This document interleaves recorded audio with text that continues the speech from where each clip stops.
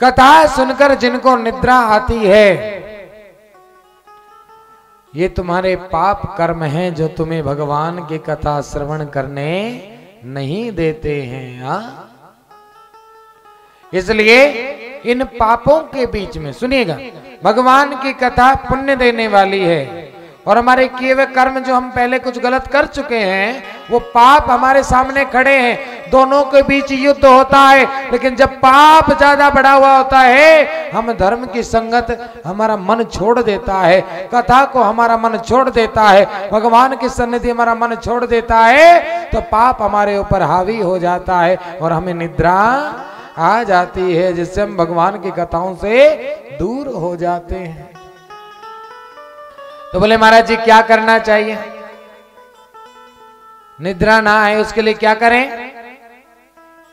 उसके लिए जब तुम कथा सुनते हो, घर में पड़े पड़े, हैं, उन बड़े बड़े सिंहासनों पर हाँ महाराज, बिल्कुल मसंद लगे हैं, बिल्कुल हाँ कथा चल रही, महाराज जी कथा कह रहे हैं, खुद लगा करके आसन, बिल्कुल सहारा लेकर कथा सुन रहे हैं। तो अब निद्रा तुमको नहीं तो क्या मुझे आएगी? अल्पाहारी बनो, जीने के लिए खाओ। खाने के लिए मत जियो। लेकिन बहुत से तो महाराज खाने के लिए जी रहे हैं। हे भगवान, अभी तक नहीं मिला हमको। है? अरे जल्दी बना दो। बिना भोजन के हम नहीं चल पाएँगे। वो खाने के लिए जी रहा है। स्वान निद्रा तथैव च। अल्पाहारी गृह त्यागी। विद्यार्थी पंच लक्षणम काग चेष्टा कौवे के जैसा ध्यान होना चाहिए फुर्ती?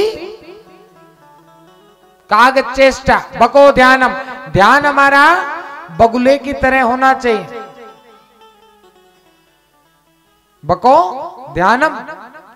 ध्यान हमारा जो है बुगले बुला एक पैर पे खड़ा रहता है जैसे मछली आई टक से पकड़ के खा जाते मैंने ध्यान होता है ना उसका? ऐसे ध्यान होना चाहिए। अच्छी चीज़ों को तुरंत कैच करो। हा? काग चेष्टा, बको ध्यान। स्वान निद्रा तथा बचा अच्छा तुमने कुत्ते को सोते हुए देखा? देखा है ना? उसके नज़दीक से अगर तुम चुपचाप भी निकल रहे हो तो एक बार आँख खोल के ज़रूर देखेगा कौन गया। है? दिखता है ना? हमारी निद्रा भी ऐसी होनी चाहिए, ऐसी नहीं होनी चाहिए। मारे पढ़ करके सो गए, घोड़े बेच दिए। अब कोई व्यापारी आने वाला नहीं है, आनंद लेके सोने मारे इसलिए कहा घोड़े बेच के सोना, इसी को कहते हैं। कोई शोर गुल हो रहा है, कोई कुछ भी हो रहा है तो कोई मतलब नहीं महाराज उससे। बस सोना है हमको तो हा?